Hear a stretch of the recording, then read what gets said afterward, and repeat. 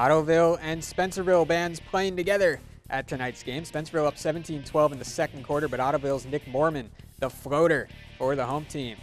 Spencerville with an answer. Mason Nurse right back, pulls up for 3 nothing, but net for Mason. Second half now. Spencerville leading by three, and Zach Goki the steal ahead to Nurse. He's got the lay in. And then more from Nurse coming up with another steal.